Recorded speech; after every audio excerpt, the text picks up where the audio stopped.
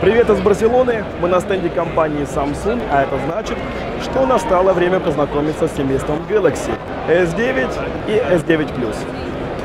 Если у вас есть такое легкое ощущение того, что вас пытаются обмануть, но на самом деле оно верное. Это S8 и Note 8. Однако они очень похожи на S9. Собственно, отличить можно по спинке. Сейчас мы сравним их. К сожалению, вся ключевая разница в дизайне между S8 и S9 сводится к расположению сканера пальца. Был он ну, не самым удачным, так сказать, месте, было сложно его нащупать. Теперь же он куда более э, выделяется с помощью таких бортиков, и палец попадает прямо на него. То есть, э, конечно, дактилоскоп стал значительно удобнее. За это однозначно лайк. Но жирный дизлайк за общую схожесть. То есть спереди отличить практически нереально их. Более того, у S9 стали более широкие рамки боковые. Я думаю, видно.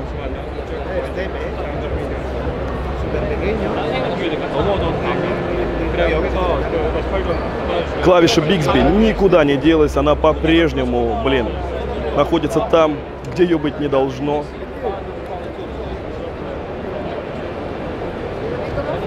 Микрофоны, лотки, все на прежних местах. Поменялось немножко оформление динамика. Аудиоразъем остался. Это хорошо.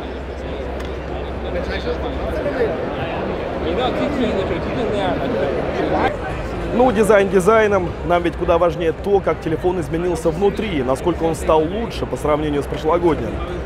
А музыка теперь играет стерео, и динамики оттюнены при помощи компании AKG.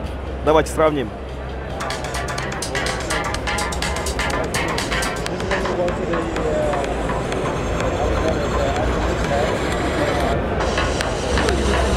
Не знаю, слышно ли вам, но S9 играет глубже и громче.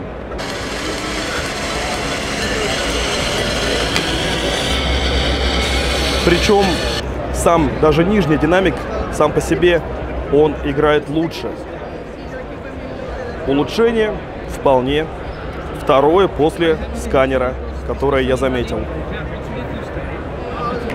Ну и вот пиксель. Pixel 2 XL. У него одни из лучших динамиков. Но надо отдать должное Samsung. В таких условиях фиговых, когда вокруг все говорят, когда музыка справа-слева, ну и, и то заметно, что Samsung интереснее звучит. Причем это было без опции Dolby Atmos.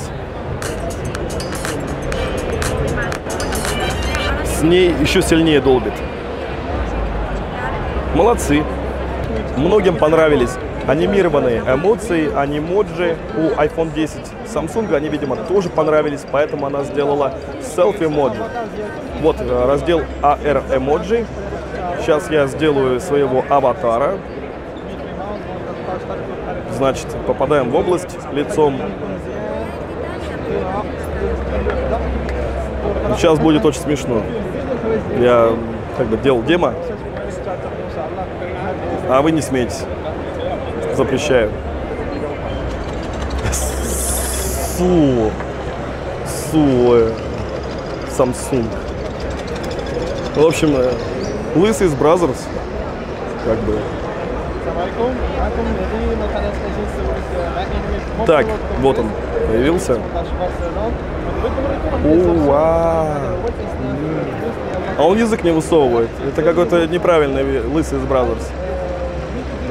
Э, э, э, что-то не очень. Ну, он считывает, короче, эмоции. Но как-то со зверями, зверьками прикольнее. Большое упущение, действительно, что язык не высовывается. Какой-то неправильный лысый из Brazzers получается.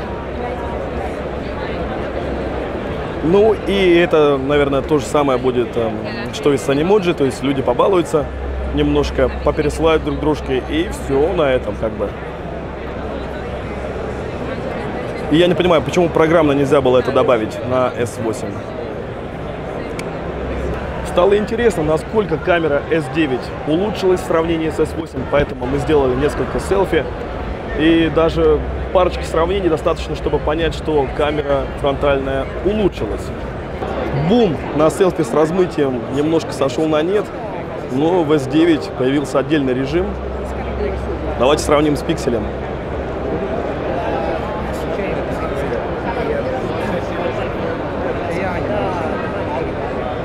Так.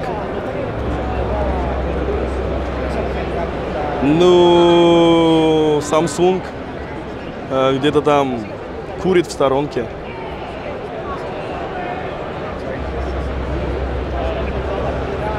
Пожалуй, самым главным нововведением стала камера с переменной диафрагмой. f1.5 для темного времени суток и f2.4, когда на улице солнышко, очень ярко.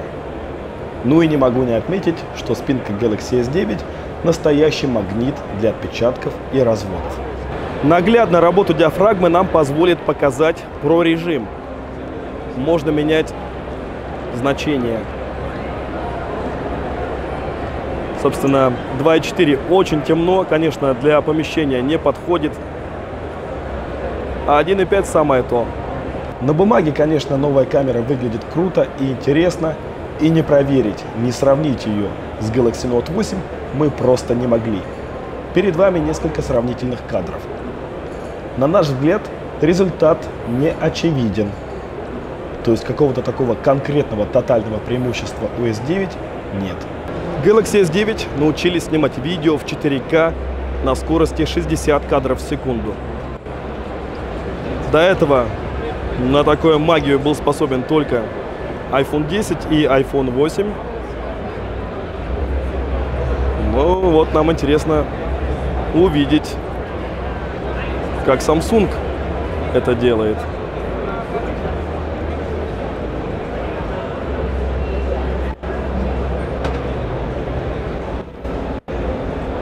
На картинке выглядит вполне пристойно.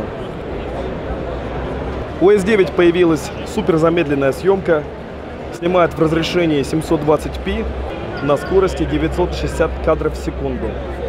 Sony на MVC представила XZ2, который может снимать тоже 960, но Full HD. Музыку наложили аж.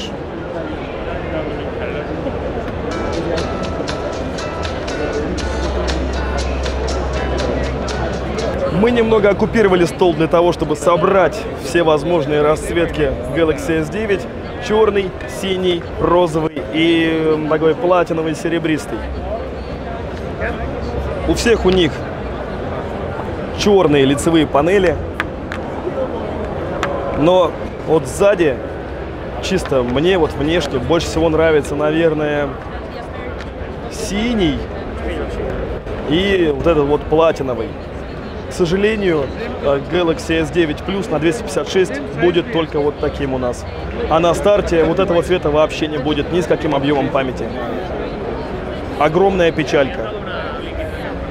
Samsung продолжает нахваливать сервис Bixby, но мы-то знаем, что от него толку никакого. Русского языка нет, э, всякие умные функции типа перевода, определения объекта работают очень неважно. Ну и сама кнопка вызова ассистента по-прежнему напрягает, бесит. В общем, у Бигсби изменений в положительную сторону я отметить пока не могу. Полноценные впечатления о новинках, конечно, будут после полноценного обзора. А пока Galaxy S8s вызывает ну, скорее положительные эмоции, нежели отрицательные. А в продаже в России будут 16 марта. Цена 60 тысяч, 67 тысяч и 75 тысяч за версию, где 256 гигабайт памяти. Спасибо за внимание, друзья. С вами был Евгений, mobiltelefon.ru. Смотрите другие видео с МВЦ. Пока-пока.